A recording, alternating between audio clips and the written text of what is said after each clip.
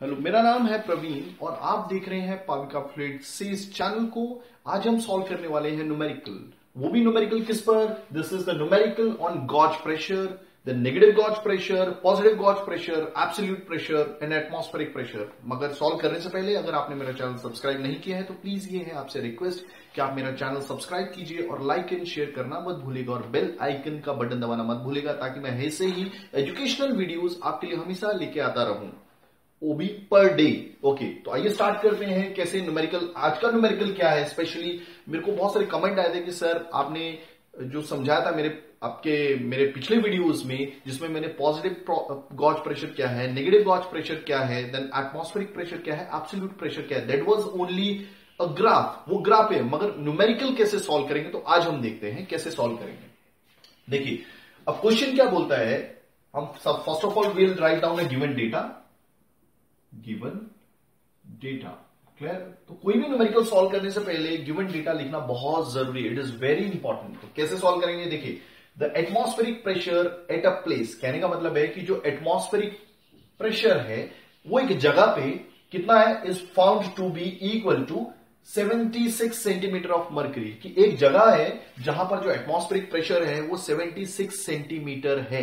आपको मालूम होगा कि अगर हम जाते हैं ज़्यादा समुन्दर के पास तो वहाँ पर जो प्रेशर होता है, वो वन बार का होता है। वातावरण द्वारा जो प्रेशर दिया गया है दैट इज़ वन बार कहने का मतलब है कि वन बार का मतलब है 760 सिक्सटी जी यानी कि जो मरकरी अगर हम यूज़ करेंगे बैरोमीटर पे बैरोमीटर एक इंस्ट्रूमेंट होता है जो एटमॉस्फेरिक प्रेशर मेजर करता है। तो उसमें मरकरी होती है मरकरी जब 760 सिक्सटी जी की हाइट अटेन कर लेती है, प्राप्त कर लेती है। क्लियर हो गया?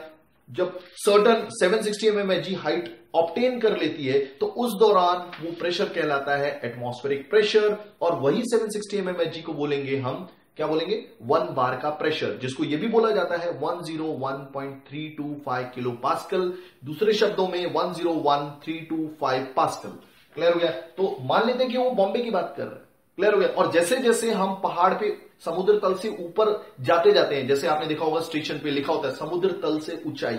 क्लियर हो गया? तो हम कहने का मतलब है कि हम ऊपर जा रहे हैं। तो जैसे जैसे हम ऊपर जाते हैं पहाड़ पे क्लियर हो गया? सपोज़ वो सिटी पहाड़ पर है तो वहाँ पे लिखते हैं समुद्र तल से ऊंचाई। तो कहने का मतलब है कि वहाँ पर जो प्रेशर होगा डेफिनेटली कम होगा। अगर बॉम्बे सी लेवल पे 760 सिक्सटी एम है तो आप कहीं पहाड़ में रहते हैं तो वहाँ पर जो प्रेशर एक्ट कर रहा होगा एटमॉस्फेरिक प्रेशर वो कम होते जाता है। कहने का मतलब है कहीं पे 740 होगा, कहीं पे 720 होगा, कहीं पे 700 होगा। फ़िलहाल मैं एक जगह नासिक में रहता था, जहाँ पर जो प्रेशर था it was almost 720 mm Hg 720 mm Hg तो देखिए हम कैसे बात करते हैं। उन्होंने बोला कि मरकरी का एक प्रेशर है मरकरी कितनी हाइट पे उठी है?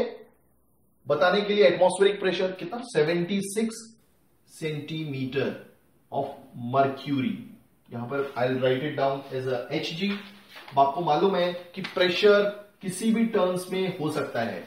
क्लियर हो गया? आप एक चीज़ मैं ज़रूर क्लियर कर दूँ कि जो मर्करी है, उसकी डेंसिटी सबसे हैवी होती है, इसीलिए इसे यूज़ किया जाता है। क्लियर हो गया? इसीलिए इसे यूज़ किया जाता है। पानी की डेंसिटी सबसे कम है, इसको वन बार का प्रेशर बताने के लिए लगभग 10.33 मीटर की हाइट लगती है। वही क्योंकि इसकी डेंसिटी ज़्यादा है तो वन बार का प्रेशर बताने के लिए, और वन बार का प्रेशर किसका है? वातावरण का एटमोस्फेरिक प्रेशर का, हवा का है। उसको बताने के लिए सिर्फ़ ये कितनी हाइट पे उठती है? सेवन सिक्स सेंटीमीटर उठती है। तो फ़िलहाल सबसे बेटर है कि कोई भी न्यूमेरिकल करते वक्त सारी यूनिट को लेंथ है तो मीटर में कन्वर्ट कर लीजिए प्रेशर है तो न्यूटन पर मीटर स्क्वायर में कन्वर्ट कीजिए वेलोसिटी है तो मीटर पर सेकंड में कन्वर्ट कीजिएगा। क्लियर हो गया? Okay so will convert into metre तो हम क्या करेंगे? डिवाइड बाय हंड्रेड करेंगे तो it will come zero point seven six metre of H G मैंने क्या कहा था कि प्रेशर को आप किसी भी टर्म्स में बता सकते हैं। फ़िलहाल ये एक हाइट के तौर पे है। और वो जो हाइट है मेरे काफ़ी पिछले वीडियोस देखिए जिसमें मैंने हाइट का ज़िक्र किया और हाइट क्या होता है? एक टाइप की हेड होती है। क्लियर हो गया? Height is nothing but head तो ये टाइप का हेड है। प्रेशर बताने के लिए ये हेड यूज़ किया जाता है। मगर आपको मालूम है क्लियर हो गया? Okay okay. अब क्या पूछा है? Find out the absolute pressure in newton per metre square तो क्वेश्चन क्या पूछा है? एब्सोल्यूट प्रेशर क्या होगा? और वो भी किसमें पूछा है? Question mark this will be newton per metre square clear हो गया? तो पहला है कि एक जगह पे कोई तो पॉइंट होगा। अब उसने बताया है कि हमें एब्सोल्यूट प्रेशर ढूंढना है। तो पहला क्वेश्चन क्या है कि गॉज प्रेशर है 2.54 मीटर ऑफ़ वाटर इसका मतलब क्या होता है? कोई भी प्रेशर कोई भी प्रेशर जो एटमॉस्फेरिक प्रेशर के ऊपर मेजर किया जाता है that is called positive gauge pressure और वो भी प्रेशर किसमें आपको मालूम है, आपने तो आज तक यही सुना होगा कि प्रेशर हमेशा मेजर किया जाता है न्यूटन पर मीटर स्क्वायर पे न्यूटन पर मीटर स्क्वायर या फिर पास्कल मगर मैंने क्या बोला? प्रेशर को कन्वर्ट किया जा सकता है हेड में हेड क्या होती है? एक टाइप की हाइट होती है। तो कोई भी प्रेशर जो एटमॉस्फेरिक प्रेशर के ऊपर मेजर किया जाता है, और जब एटमॉस्फेरिक प्रेशर को ज़ीरो मान लिया जाता है एक्चुअली में एटमॉस्फेरिक प्रेशर ज़ीरो नहीं है। हमने माना है कि एटमॉस्फेरिक प्रेशर ज़ीरो है, और उसके ऊपर जब कोई प्रेशर मेजर किया जाता है, उसको बोलते हैं atmospheric means that is we call it as a positive gauge pressure अभी पॉजिटिव नहीं लिखा हुआ है बट हमें यहाँ पे समझना पड़ता है। और कोई भी प्रेशर जो एटमॉस्फेरिक प्रेशर के नीचे मेजर किया जाता है that we will call it as a negative gauge pressure समझ रहे तब हमारी रेफरेंस लाइन क्या है?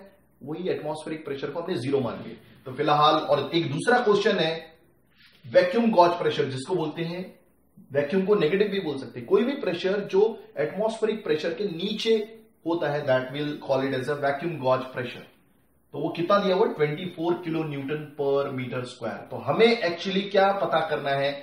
इसके हिसाब से एब्सोल्यूट प्रेशर कितना है और इसके हिसाब से एब्सोल्यूट प्रेशर कितना है? तो विल फाइंड आउट एक क्वेश्चन को मिटा देता हूँ। आई थिंक आपको समझ गया होगा क्या है। क्लियर हो गया? तो पहला क्वेश्चन क्या था? इसको मिटा देता हूँ कि हमारा गॉज प्रेशर क्या है।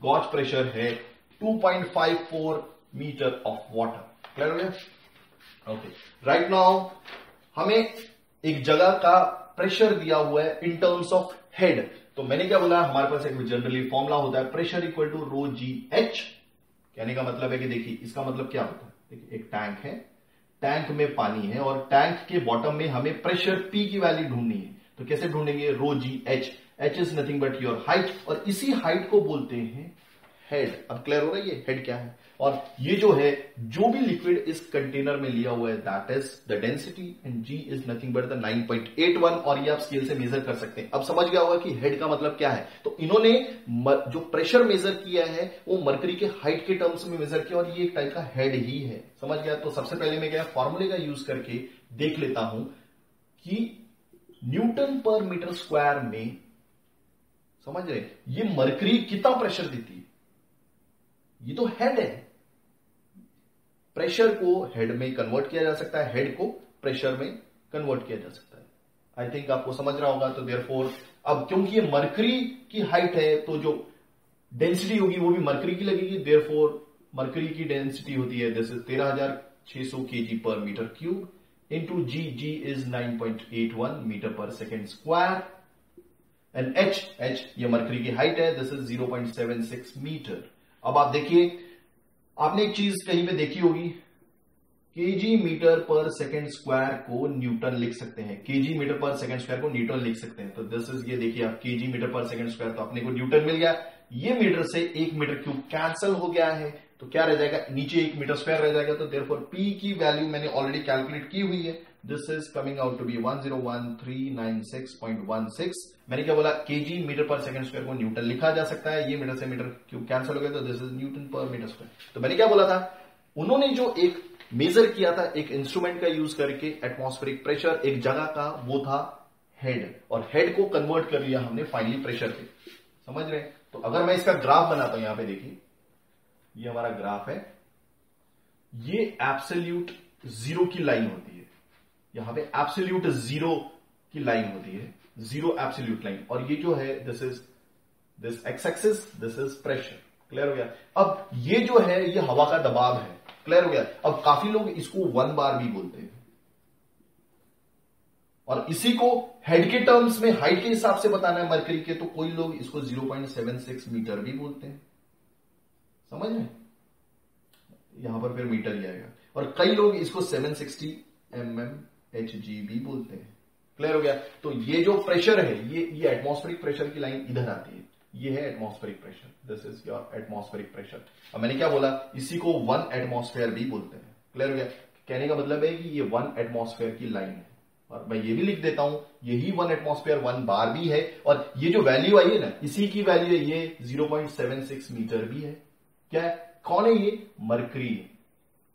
क्योंकि हम मरकरी को, जो प्रेशर है, हम हेड के तौर पे बता सकते हैं प्रेशर को। मगर क्या यूज़ करें, वो ज़रूर लिखना पड़ेगा। अगर मैं पानी की टर्म्स में हेड निकाल रहा हूँ तो मैं लिखूँगा, कोई भी वैल्यू के साथ मीटर ऑफ़ वाटर तो अभी फ़िलहाल मैं ये लिख देता हूँ कि जो प्रेशर है, इसका मतलब यही है नहीं?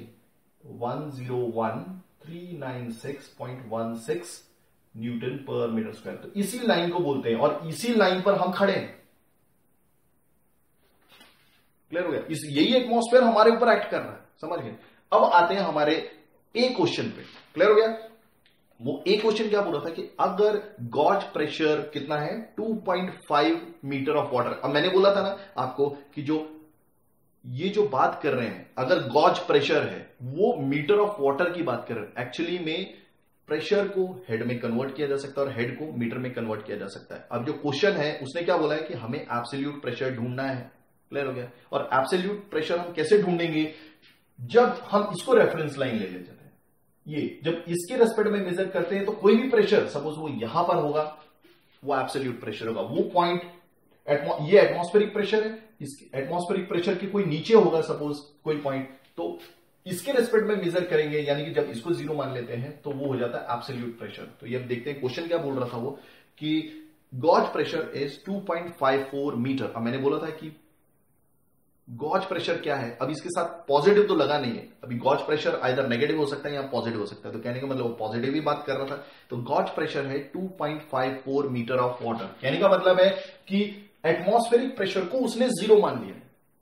मैं वापस रिपीट करूँगा कि जो पॉजिटिव गॉज प्रेशर होता है, यानी कि गॉज प्रेशर होता है, इस क्वेश्चन में पॉजिटिव नहीं लगा हुआ है। मैं खुद से लगा देता हूँ पॉजिटिव गॉज प्रेशर। वो हमेशा एटमॉस्फेरिक प्रेशर के ऊपर मेजर किया जाता है, मगर उसके लिए जो कंडीशन चाहिए कि एटमॉस्फेरिक प्रेशर को ज़ीरो मान लिया जाता है। क्या बोलते हैं? ज़ीरो मान लिया जाता है। ये जो लाइन है, अब आप बोलते हो, मैं मैं ये नहीं बोल रहा हूँ कि एटमॉस्फेरिक प्रेशर ज़ीरो होता है। मगर कोई भी प्रेशर जब एटमॉस्फेरिक प्रेशर के ऊपर मेजर किया जाता है दैट तो will call it as a positive gauge pressure तो इसके ऊपर मेजर कर रहा हूँ तो इसको फ़िलहाल मैं थोड़ी देर के लिए ज़ीरो मान लेता हूँ, क्योंकि ये हमारी रेफरेंस लाइन बन जाती है। और दूसरी चीज़, वो प्रेशर भी हेड के टर्म्स में दिया हुआ है। और पानी का जो हेड है, इस बार कितना है? 2.54 मीटर ऑफ़ वाटर तो फ़िलहाल मैं यही इक्वेशन यूज़ करके रोजी एच यूज़ करके प्रेशर कितना होगा? वो कोई भी प्रेशर होगा, वो डेफिनेटली गॉज प्रेशर के ऊपर है, इसलिए तो वो पॉजिटिव गॉज प्रेशर इस्तेमाल कर रहा है। सपोज़ वो पॉइंट है ए अब ए पॉइंट पे क्या बोल रहा है वो? कि यहाँ पर जो प्रेशर है, वो कितना है? 2.54 मीटर ऑफ़ वाटर तो मैंने बोला था कि आप हेड का यूज़ कर रहे हैं तो पानी के टर्म्स में भी मेजर कर सकते हैं। अगर मैं पेट्रोल का यूज़ कर रहा हूँ तो पेट्रोल के टर्म्स में भी हाइट दिखा सकता हूँ प्रेशर की। प्रेशर की नहीं मीन्स हेड की। और हेड को कन्वर्ट किया जा सकता है आपके प्रेशर पे। फ़िलहाल, ये जो हेड है, इन्होंने क्या बोला है कि जो, देखो, पहले तो पॉजिटिव गॉज प्रेशर है। कहने का मतलब है रेफरेंस लाइन जो है हमारी एटमॉस्फेरिक प्रेशर है। और कोई भी प्रेशर जब हम एटमॉस्फेरिक प्रेशर के ऊपर मेजर करते हैं तो ये बन जाती है ज़ीरो तो ये ज़ीरो होगी तो मतलब point one point two point three फिर वन तक आएगी रीडिंग फिर टू तक आएगी, फिर definitely two point five four metre तक पहुँच जाएगी। मगर फ़िलहाल हमें ये ये टाइप का हेड है और इस हेड को पहले न्यूटन पर मीटर स्क्वायर में निकालना है। क्लियर है? तो मैं क्या लिखूँगा?